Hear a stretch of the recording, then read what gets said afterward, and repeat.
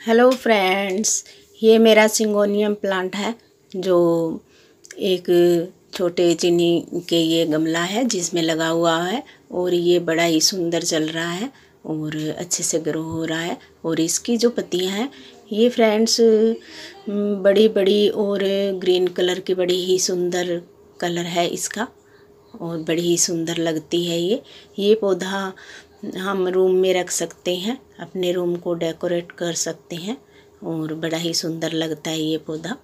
और इसको, पौधे को छाया की ज़रूरत होती है, इसलिए इसको धूप की कम ज़रूरत होती है, इसलिए इसे हम अंदर रख सकते हैं और इसकी ये नई लीव्स निकल रही है। और ये, इसके जो पत्ते होते हैं, इनमें ये दो कलर होते हैं और सारे पत्ते एक जैसे से बड़े बड़े हो जाते हैं तो बड़े ही सुंदर लगते हैं। और फ्रेंड्स, ये वाला जो पौधा है, ये कटिंग से लग जाता है, आसानी से लग जाता है ये। ये मैंने कटिंग लगाई थी इसकी।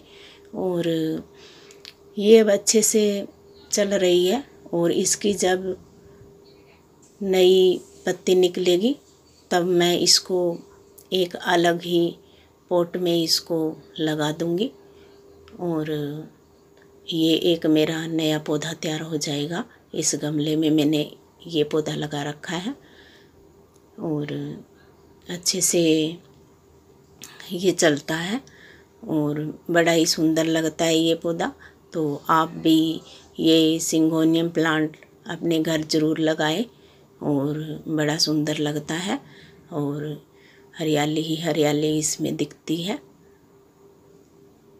और इसकी ये जो टहनियाँ होती हैं, इनसे ही आप नए पौध तैयार कर सकते हैं।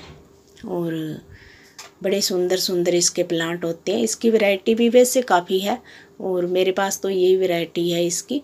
और इसके जो पत्तों के कलर होते हैं, वो थोड़े थोड़े अलग से होते हैं। और इसमें मैंने ये जो फ्रेंड्स आपको मेरी वीडियो अच्छी लगे लाइक कीजिएगा और मेरे चैनल को सब्सक्राइब ज़रूर कीजिएगा। और मेरी वीडियो आप देखते रहिए और एक पौधे से अनेक पौधे बन जाते हैं तो आप भी नए पौधे बनाएँ और इसकी जो ये मिट्टी है, ये मिट्टी मेरी, वो टीले वाली मिट्टी है, जिसमें पानी ये सोख लेती है और कई दिनों तक पानी और डालने की ज़रूरत नहीं होती।